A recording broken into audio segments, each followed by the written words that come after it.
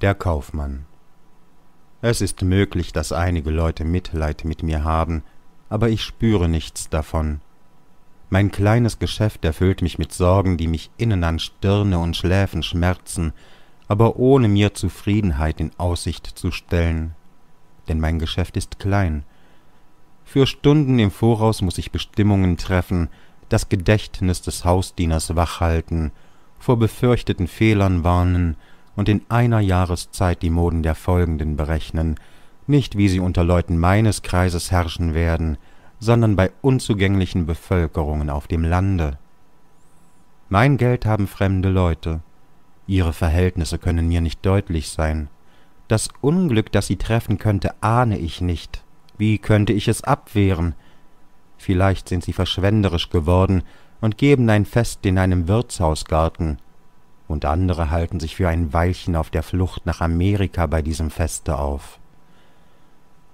Wenn nun am Abend eines Werktages das Geschäft gesperrt wird und ich plötzlich Stunden vor mir sehe, in denen ich für die ununterbrochenen Bedürfnisse meines Geschäftes nichts werde arbeiten können, dann wirft sich meine am Morgen weit vorausgeschickte Aufregung in mich wie eine zurückkehrende Flut, hält es aber in mir nicht aus, und ohne Ziel reißt sie mich mit.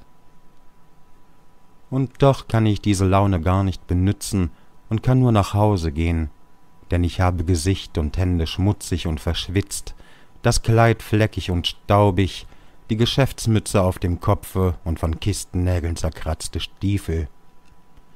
Ich gehe dann wie auf Wellen, klappere mit den Fingern beider Hände, und mir entgegenkommenden Kindern fahre ich über das Haar. Aber der Weg ist kurz, gleich bin ich in meinem Hause, öffne die Lifttür und trete ein. Ich sehe, dass ich jetzt und plötzlich allein bin. Andere, die über Treppen steigen müssen, ermüden dabei ein wenig, müssen mit eilig atmenden Lungen warten, bis man die Tür der Wohnung öffnen kommt, haben dabei einen Grund für Ärger und Ungeduld, kommen jetzt ins Vorzimmer, wo sie den Hut aufhängen, und erst bis sie durch den Gang an einigen Glastüren vorbei in ihr eigenes Zimmer kommen, sind sie allein. Ich aber bin gleich allein im Lift und schaue auf die Knie gestützt in den schmalen Spiegel.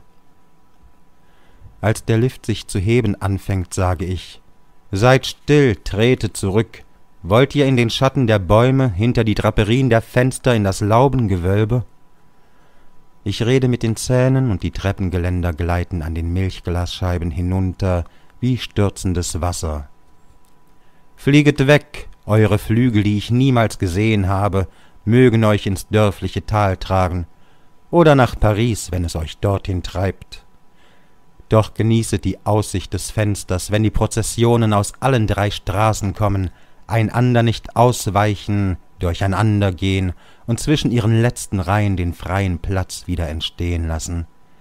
Winket mit den Tüchern, seid entsetzt, seid gerührt, lobet die schöne Dame, die vorüberfährt. Geht über den Bach auf der hölzernen Brücke, nickt den badenden Kindern zu und staunet über das Hurra der tausend Matrosen auf dem fernen Panzerschiff.